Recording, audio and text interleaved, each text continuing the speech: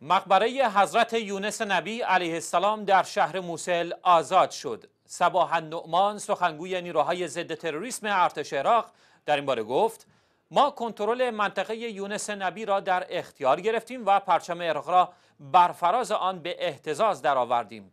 به افزود نیروهای عراقی روز دوشنبه همچنین موفق شدند کنترل دو منطقه دیگر در شرق موسل را در اختیار بگیرند.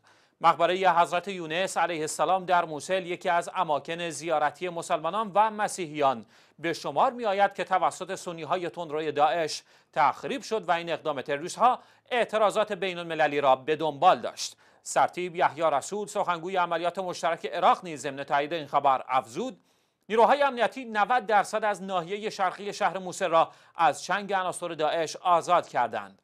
به گفت همینک نیروهای امنیتی به پاکسازی و جستجوی مناطق آزاد شده در موسل ادامه می دهند و تنها مناطقی معدود در ناحیه شمالی کرانه شرقی باقی است و در چند روز آینده آزادسازی کامل ناحیه شرقی موسل را اعلام خواهیم کرد. عملیات آزادسازی موسل مرکز استان نینوا از 26 مهر 1395 با شرکت ده ها هزار تن از نیروهای ارتش پلیس عراق و با همراهی نیروهای بسیج مردمی و پیشمرگه کرد آغاز شده است.